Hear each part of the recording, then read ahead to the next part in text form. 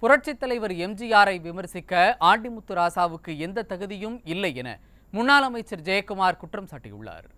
திருவள்ளூர் மேற்கு மாவட்ட துணை செயலாளரும் முன்னாள் நகர்மன்ற தலைவருமான கமாண்டோ பாஸ்கரன் இல்ல திருமண விழாவில் முன்னாள் அமைச்சர் டி ஜெயக்குமார் கலந்து கொண்டு மணமக்களை வாழ்த்தினார். இதனைத் தொடர்ந்து செய்தியாளர்களை சந்தித்த அவர் அதிமுகவின் திட்டங்களுக்கு லேபிள் புட்டும் அரசாகவும் ரிமோட் அரசாகவும் திமுக இருப்பதாக சாடினார். புரட்சித் தலைவர் எம்ஜிஆரை விமர்சிக்க ஆண்டிமுத்து ராசாவுக்கு எந்த தகுதியும் இல்லை எனவும் அவர் கடுமையாக சாடினார்.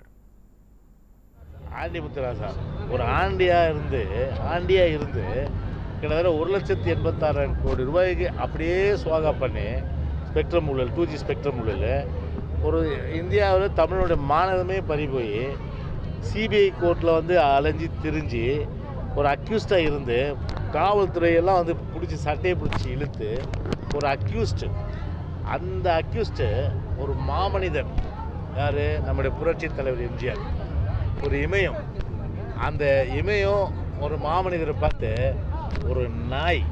இந்த நாய் குறைப்பது அது வந்து பார்த்திங்கன்னா மக்கள் பொறுத்தவரில் தொண்டர்கள் பொறுத்தவரில் கடுமையான அளவுக்கு பார்த்தீங்கன்னா இன்றைக்கி ட்விட்டரில் வந்து எந்த அளவுக்கு வந்து ராஜா அக்யூஸ்ட் ராஜாவை கிளி கிளி கிழிக்கிறாங்க